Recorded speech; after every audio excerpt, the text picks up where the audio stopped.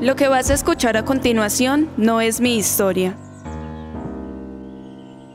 Es la historia de un hombre. Uno atractivo, elegante e inteligente.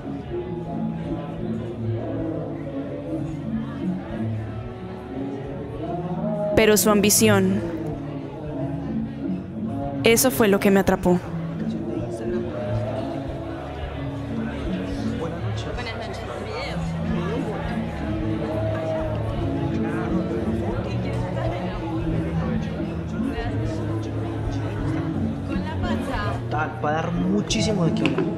Opinas?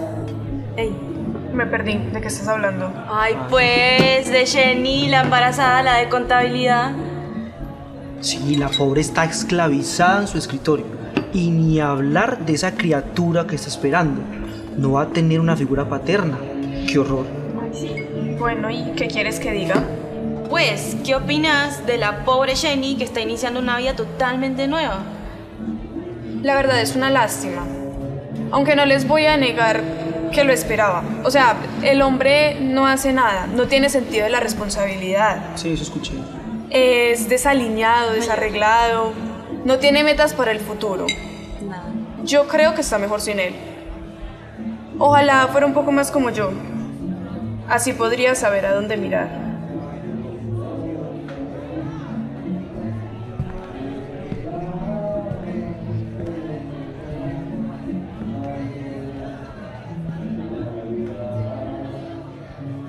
Mami, pero bajándonos de esa nube, pues. Ya vengo. Tengo que hacer algo. Ay, no, mírala.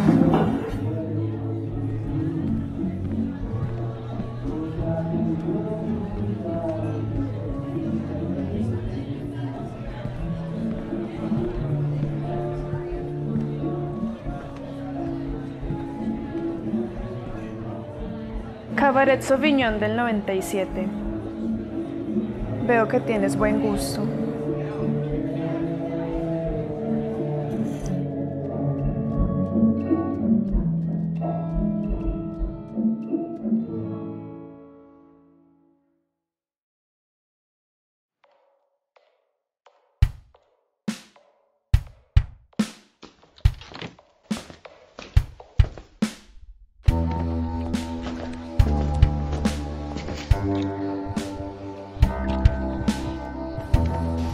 Quizá parece una aventura de una noche, pero cuando yo quiero algo, lo obtengo.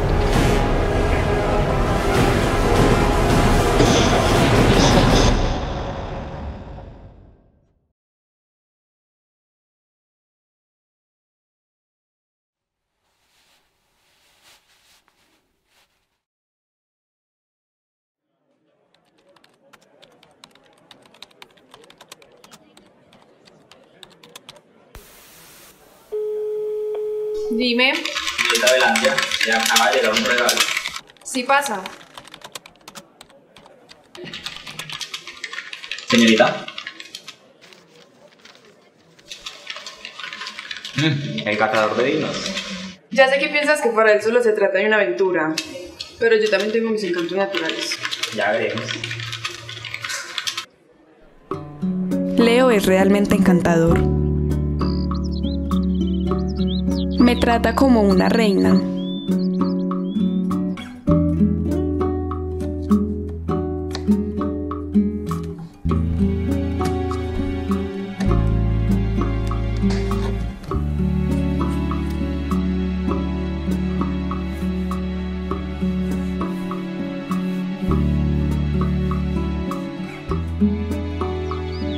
Hablando de eso, te traje un regalo.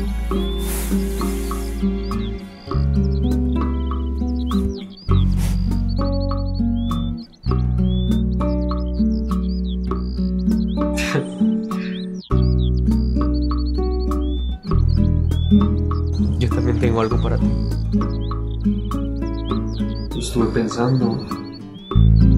Te amo. Y quiero que nos casemos.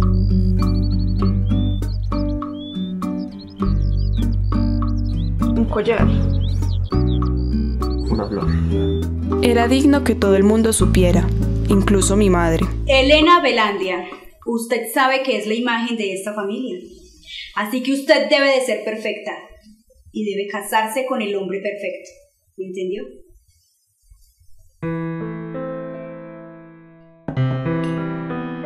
Leo es bastante meticuloso y hasta perfeccionista. Antes de salir y cuando llega cuenta sus vinos con tal gracia que parece como si estuviera tocando una pieza clásica. Creo que es algo natural entre los catadores de vino. Y cuando termina de contarlos toma solo uno.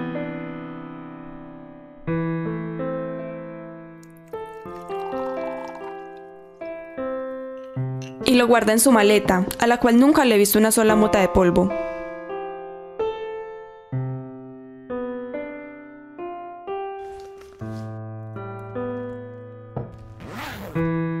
Lo cuidadoso y pulcro que es me parece hasta tierno, pero no tanto como cuando se despide de mí. Me da un beso en la frente y me dice, Te amo, mi Rosa. Te recuerdo. No tocar tus cosas, ya lo sé. Yo también te amo.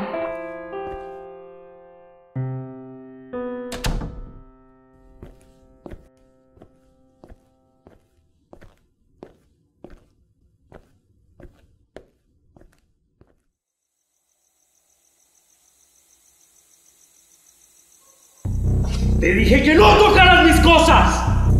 Ahora se preguntarán cómo demonios pasamos de una historia tan dulce a esto.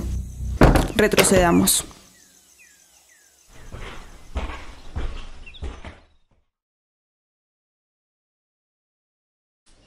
No acostumbro a limpiar los lunes, pero hoy en particular estaba de buen humor.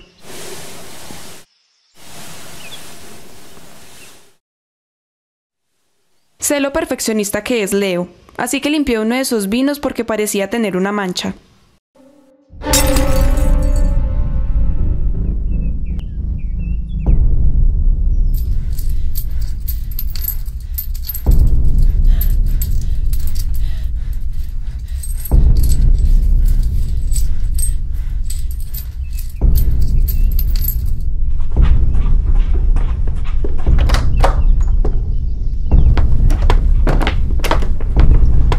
Ya se imaginarán lo que sucedió después.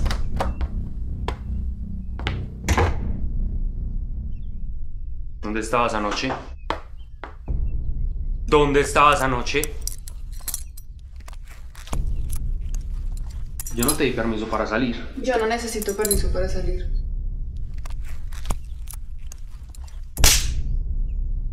No. Leo no. ¿Quién hubiera dicho que la relación perfecta se vería así? Elena, yo te he dicho que no toques mis cosas, ¿cierto? Molestando. ¿Por qué la puerta de la oficina estaba abierta? Estaba buscando mis pinceles. ¡No me importa! ¿Me explicas ya por qué estabas allá adentro? Cállate que nos van a escuchar. Tú a mí no me callas. No me grites. Tú a mí no me callas. me grites. No me calles. No me- No me calles.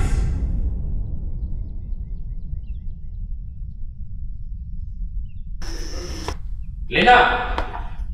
¿Se puede saber para cuándo va a estar la puta comida? Espera. Aparte de que la estoy haciendo con mucho gusto, me estás acosando. Es que aquí hay gente que sí trabaja mucho. ¿Qué insinúas? No, yo no insinúo nada. Es que me estás haciendo perder el tiempo. ¡Que ya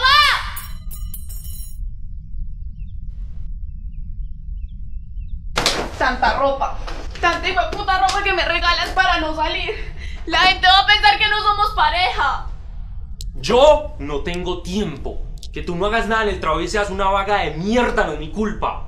Pues yo no tengo tiempo, estamos aquí en la casa haciendo nada. ¡Me casé con un amargado! Tú no estás cansada que yo te pegue. ¿Tú crees?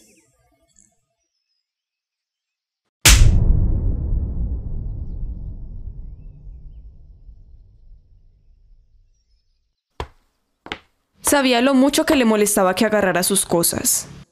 Así que lo hacía cada que podía. Es sábado y él siempre sale con sus amigos. De verdad quiero saber qué esconde. Él me jodió y ahora yo lo voy a joder.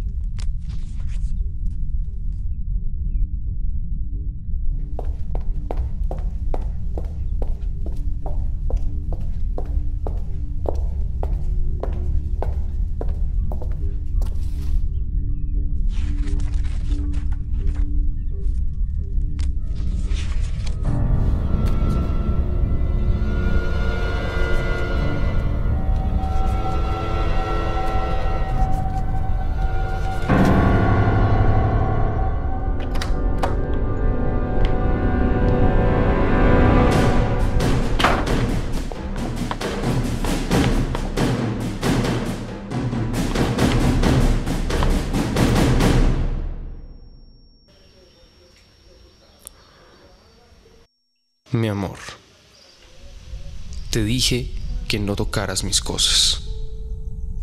¿Que no tocara tus cosas? ¿Para no descubrir que eres un maldito enfermo? Mira, Elena, yo sé que tú querías que tuviéramos una relación de película, pero tú decidiste no tomar ese camino. ¿Acaso estás escuchando lo que dices? Si hubieras respetado la única regla que te puse en toda la relación, todo seguiría de maravilla. Yo estaría bien. Pero tú decidiste respetar la única cosa que te dije que trataras con decencia. Es una egoísta. ¿Egoísta yo? Tú eres un puto pedófilo de mierda. Un puto violador de niños. Eso es lo que dedujiste de las fotos. No, mi amor. Tú sabes que yo soy mejor que eso. Entonces, ¿qué mierda es lo que haces? ¿No eras un puto catador de vinos? ¿Por qué mierdas tienes de niños en tu caja? ¿Por qué? Yo soy un hombre de negocios. Yo no violo. Yo vendo. Ni me va muy bien. Puedo darme un lujo como estos todos los días de mi vida. Hace mucho comprendí que para alcanzar el éxito se necesitan medios poco ortodoxos. Medios que si alguien llega a descubrir, me meterían en muchos problemas. ¿Tú crees que yo, que soy tu esposa, te voy a acusar? Si recuerdas que iniciaste la conversación escupiéndome, ¿no? O sea que ni siquiera lo hacías para protegerme. Tengo prioridades, mi amor. O sea que tu esposa no es tu maldita prioridad.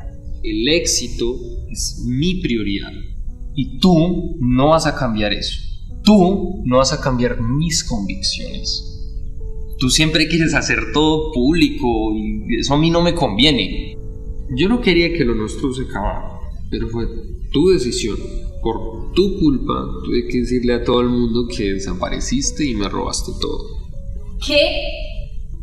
Pues sí, no podía noquearte y encerrarte aquí sin esperar a que tus padres se aparecieran. No, les dije que escapaste de la ciudad y pues ahora te están buscando lejos de aquí.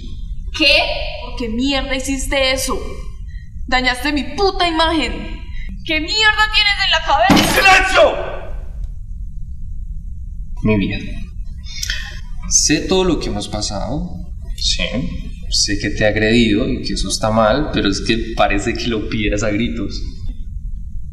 Yo creo que podemos arreglarlo de una forma que nos beneficie a los dos. Tú quieres que todos vean lo perfectos que somos y, bueno, yo también quiero ser exitoso, pero debo mantener un perfil bajo. Mira, yo puedo hacer pasar esto como un malentendido. No sé, que te secuestraron o alguna cosa así. Pero necesito que te quedes callada respecto a mi trabajo, ¿ok? No sé, piensa. Y por cierto, me quedo con tu celular.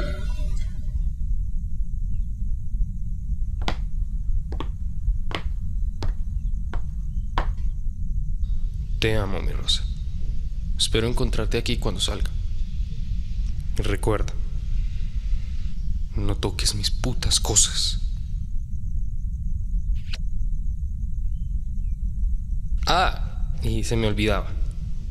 Si te encuentro desatada, te juro que te mato.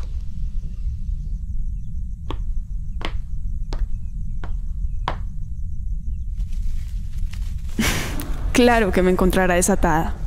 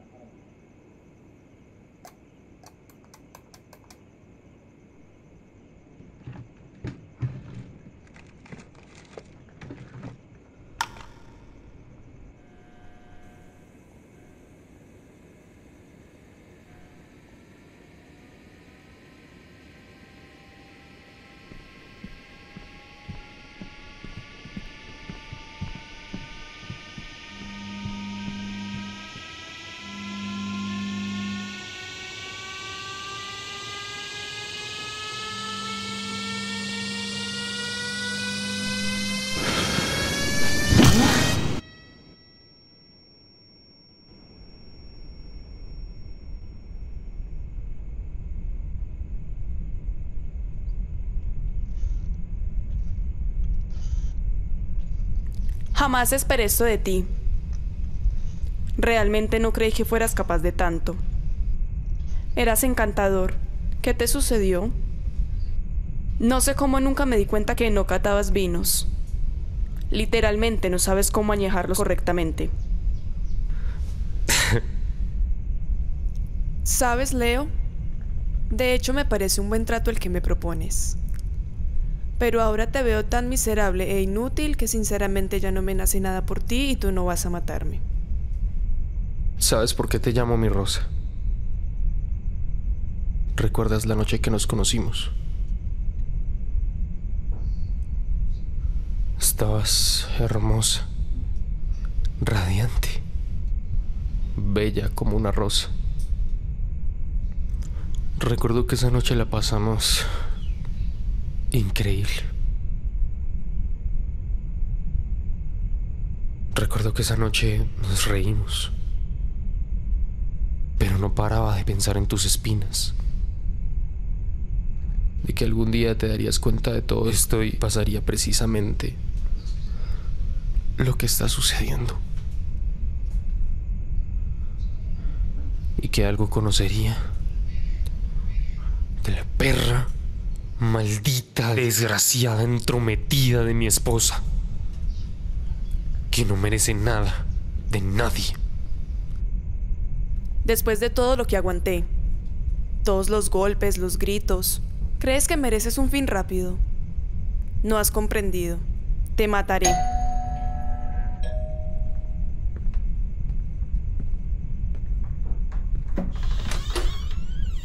Buenas noches. Aquí está lo que me encargaron. Solamente firma aquí.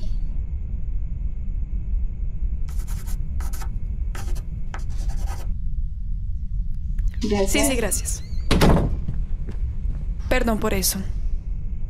¿Qué tal si terminamos justo como todo esto empezó? Con una copa de vino.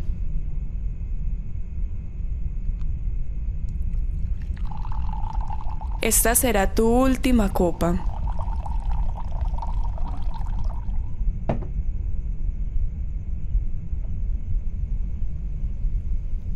¿Sabes qué? Lo pensé mejor.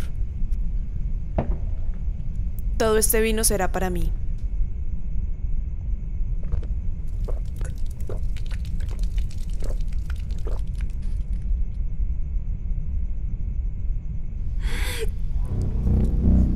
Extracto de aconito.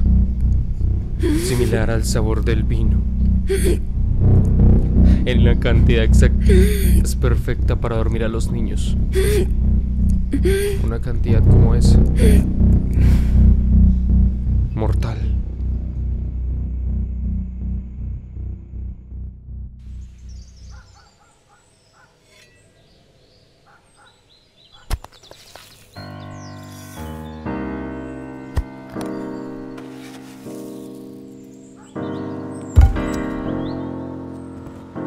Mi madre solía decir que del amor también se aprende.